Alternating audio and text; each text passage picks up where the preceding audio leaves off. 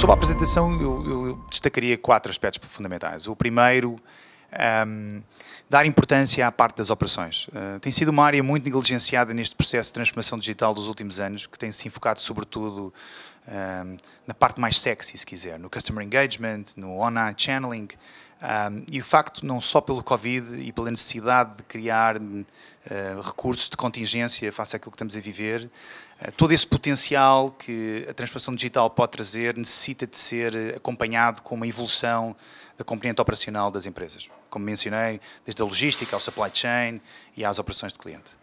Uh, uma segunda ideia tem a ver com um, uma alternativa, se calhar, mais criativa e provavelmente mais eficiente para que as empresas, neste contexto de mais restrições, possam continuar no seu processo de transformação, uh, utilizando talento e capacidade dentro da organização, mesmo com pouco tipo de, ou com pouco nível de expertise técnico. Não é?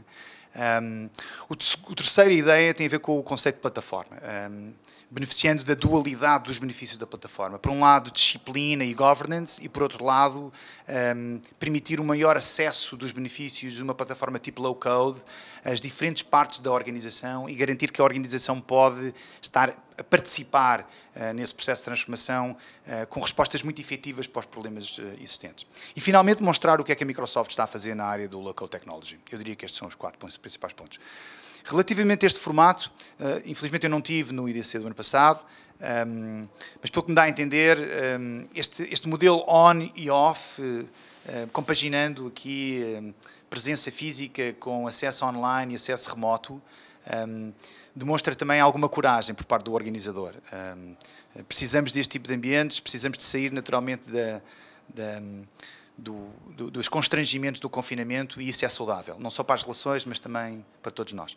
Um segundo ponto, eu destacaria que ao longo dos dias a complementaridade dos tópicos, não só uh, reforçando os principais desafios do ponto de vista da transformação digital, mas também ao nível da indústria, permite ter aqui uma agenda muito completa de, de tópicos, mas na perspectiva também do speaker, uh, evitar uh, overlaps em outro tipo de conteúdos e, portanto, obriga-nos claramente a ser muito mais efetivos e específicos no tema que nós queremos abordar. Eu diria que é isso.